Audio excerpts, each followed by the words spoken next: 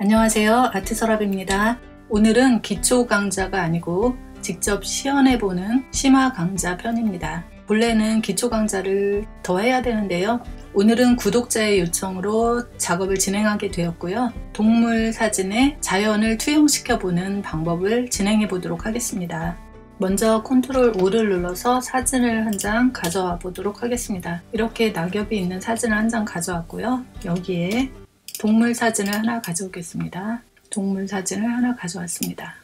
배경을 마술 tool로 지정을 해서 지워주셔도 되고요. 여기에 layer mask를 씌우셔도 됩니다. 이거는 배경과 그림이 어느 정도 분리가 되어 있으므로 그냥 마술봉으로 클릭 클릭해서 대충 따내도록 하겠습니다. 물론 layer mask를 씌워서 하셔도 되고요. path tool로 정교하게 따셔도 됩니다. 일단 이렇게 해서 강아지 사진을 가져왔고요. 배경색을 조금 다운시키겠습니다. 배경색을 좀 밝게 만들었습니다. 강아지 위에 숲 사진을 하나 가져와 보겠습니다. 이렇게요. 오른쪽 마우스를 클릭해서 클리핑 마스크를 만들겠습니다. 그러면 강아지 모양에 이렇게 숲이 투영되었고요.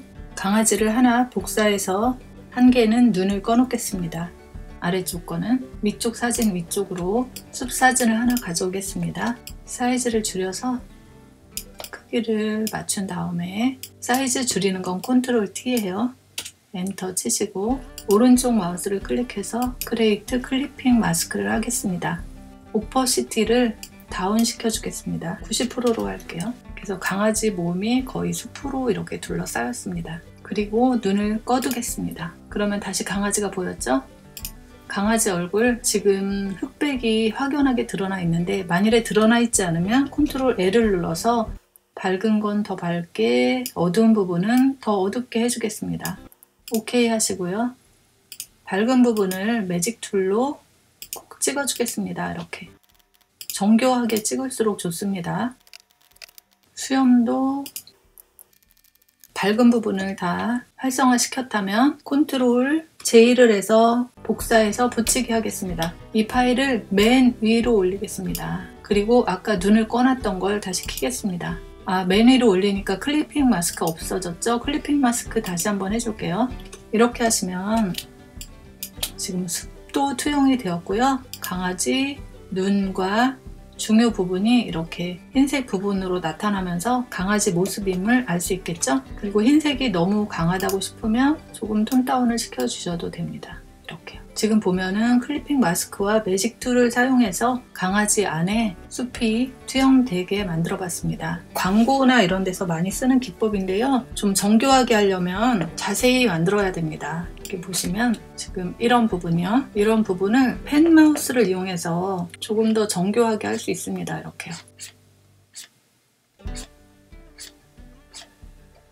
구독자분께서 저에게 준 사진도 보면은 이렇게 펜 마우스를 이용해서 정교하게 작업이 돼 있음을 알 수 있습니다. 지금 강좌에서는 좀 시간을 많이 할애할 수 없으니까 이렇게 쉽게 쉽게 하는데 정확히 하려면 이런 작업들을 해줘야 된다는 거죠. 그리고 이런 부분은 다 지워져야 되는 거고요. 그리고 지금 보면은 여기저기에 붉은색 주황빛이 돌잖아요. 이거는 조금 더 색상을 부드럽게 만들어주면 됩니다. 이렇게. 그래서 이 털들이 정교하게 되면은 훨씬 더 감각적인 그런 작업이 되겠죠. 또 한 가지 방법이 있는데요. 그리고 clipping mask를 씌운 거기에 다시 layer mask를 씌웁니다. 그래서 필요한 부분을 지워주는 거죠. 이렇게요. 코 부분은 다시 나무를 투영시켜주고요. 눈 부분은 살짝 보이게 해줄까요? 그러니까 방법은 좀 여러 가지가 있어요. 윗부분도 조금 이렇게 해줄 수도 있고요. 투영을 시키면서 또 일부는 투영을 안 시켜주는 그런 방법인 거죠. 배 부분도 이렇게 드러나게 해줄 수 있고요. 보여지기 싫은 곳은 다시 지워주면 됩니다. 그래서 손가락 smudge tool로 수염 부분을 이렇게 해줄 수 있습니다. 이런 식으로 나오게 할 수 있는 거죠. 그러니까 오늘 구독자분께서 저에게 물으신 그 사진은 두 가지 방법이 있는데요. 먼저 clipping mask를 씌운 다음에 layer mask를 다시 씌워서 밝은 부분을 나타나게 함으로써 주체가 드러나게 하는 방법이 하나 있고요. 아, layer mask를 잠깐 끄고 보여드릴게요. 또 하나는 맨 위에 이제 아까 작업했던 어, 이 방법입니다.